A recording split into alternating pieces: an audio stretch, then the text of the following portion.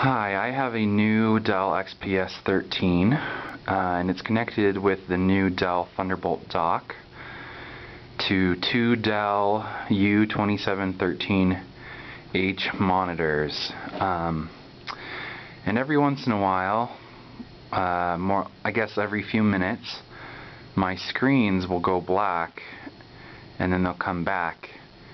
And sometimes one of the screens will not come back the way these are connected is the, the laptop has a Thunderbolt 3 going into the new Thunderbolt dock.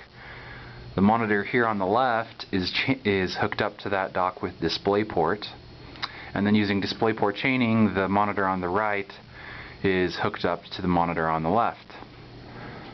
Um, there you go, there's the blank right there. Uh, monitors say that they are entering power save mode and then after a few seconds they come back. Usually, as I mentioned before, sometimes one of the monitors does not come back.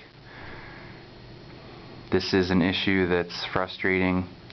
I don't know if you heard it, uh, my phone beeped as well through there, which seems to imply that during this period USB is also dropped.